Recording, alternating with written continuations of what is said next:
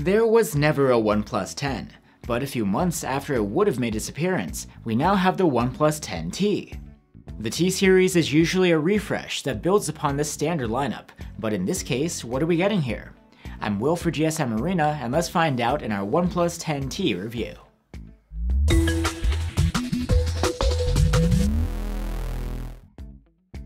OnePlus has switched things up this year. Rather than releasing a vanilla OnePlus 10, they came out with just the OnePlus 10 Pro. And now in the T series, we get the OnePlus 10T, but no Pro model. The result here is a phone that's in a different class than the 10 Pro, and while it's better in some ways, in others it's not quite as good. Let's start off though with the design.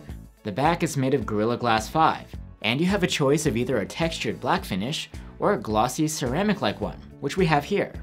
The square camera bump wraps around the edge and looks quite similar to the one on the OnePlus 10 Pro. A major difference here on the 10T though is that the frame is made of plastic, not aluminum. One staple OnePlus feature, the alert slider, is now gone as well. Another way in which the two models differ is the display. The OnePlus 10T has a 6.7-inch AMOLED with a 1080p resolution, Gorilla Glass 5 protection, and a 120Hz refresh rate. This is in contrast to the more advanced panel on the 10 Pro, it's the same size, but curved, with a QHD resolution, Victus protection, and a more adaptive refresh rate, thanks to LTPO2 technology.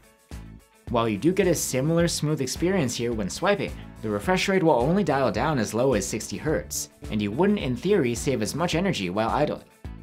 The 10T's AMOLED panel is of course very contrasty, and while it's not as sharp as the Pro's, it's sharp enough. You get 10-bit color and HDR10 Plus support, and while the colors are vibrant out of the box, you can adjust them to be accurate through settings.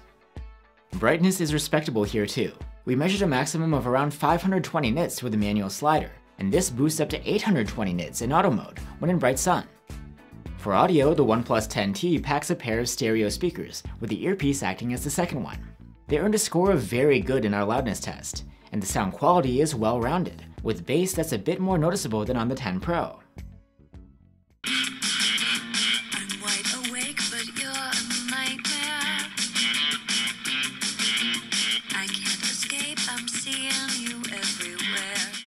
And you can get the OnePlus 10T with 128 or 256 gigs of storage. That's not expandable though.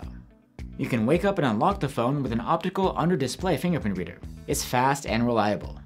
And one neat trick is that you can hold down your finger to launch a quick shortcut menu. The interface of the phone is OnePlus's Oxygen OS 12.1 on top of Android 12. These days, the software looks just like Oppo's Color OS and Realme's Realme UI.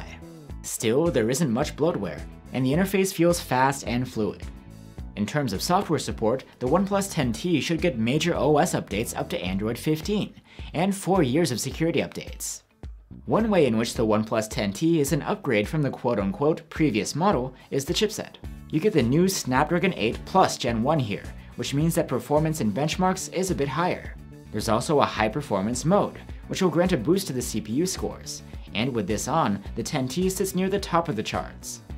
Sustained performance is impressive here too, thanks to an advanced passive cooling system that's much larger than the 10 Pros. There was some gradual thermal throttling during the hour-long stress test, but much less than what you'd see on other phones running flagship silicon. Another way in which the OnePlus 10T outperforms the 10 Pro is with the charging speed. The capability here is a huge 150 watts, and the charging brick comes in the box. With it, we were able to charge the OnePlus 10T from zero to completely full in just 19 minutes. The Pro model wasn't slow, but a full charge there took 32 minutes. A downside here though is that you don't get support for wireless charging. Battery life is a bit different too, as the 10T has a smaller 4800 mAh battery capacity. It does a good job though, managing to score an endurance rating of 96 hours in our proprietary tests. The cameras are one feature in which flagships typically excel over mid-rangers, and here you can really feel that this is not a pro-level device.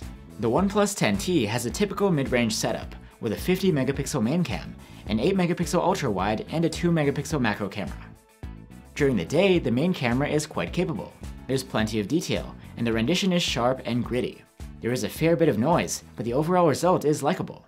Colors are vibrant, and dynamic range is reasonably wide, but will prioritize highlights over shadows.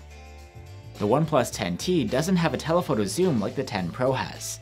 but at least at 2 times magnification, the results from the digital zoom are usable.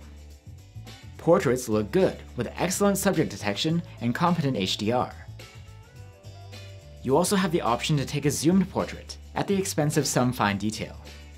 The 8 megapixel photos from the ultra-wide bring an average level of detail, on par with what you'd get on other mid-rangers. Like the main cam, there is some graininess here, and the exposure metering is biased toward preserving the highlights, which could leave some dark shadows. 2 megapixel photos from the macro cam are just about what you'd expect. The perspective is nice, but the quality isn't great. If the light is low enough, the OnePlus 10T will automatically apply night mode processing. The resulting photos have excellent dynamic range, low noise, and likable saturated colors. The level of detail is very good, but the sharpening is a bit unnatural looking. In the cases that the night mode doesn't kick in, there's more noise but also more detail. The dynamic range is still decent too. However, since the night mode is automatic, you can't achieve this sort of shot whenever you want to. The ultra-wide camera also has an automatic night mode, and the results are respectable. The exposure and dynamic range are very good, colors don't suffer from desaturation, and the detail is okay, if you manage your expectations. Selfies from the 16 megapixel front-facing cam have excellent dynamic range and saturated colors. The detail level could be better, but these are overall still solid. The OnePlus 10T can record video in up to 4K at 60fps with its main camera. The video quality is great, with an excellent level of detail and natural rendition. There's plenty of contrast, and colors are vibrant, yet likable. The ultra-wide does a decent job, even though it is capped at 1080p resolution. There's a respectable level of detail, and even more contrast and punchier colors than the main can. Electronic stabilization is always on. We've seen better smoothness when it comes to walking, but the 10T still does a nice job when it comes to pans. So that's the OnePlus 10T. It's an upper mid-ranger that actually holds up pretty well compared to the 10 Pro. It's not the most well-rounded package, you can find competitors with better cameras, wireless charging, and ingress protection. But what you do get here is super fast wired charging, and the latest flagship chipset with an effective cooling system. And if those are features you're looking for, then the OnePlus 10T is worth recommending. Thanks for watching guys, stay safe and see you on the next one.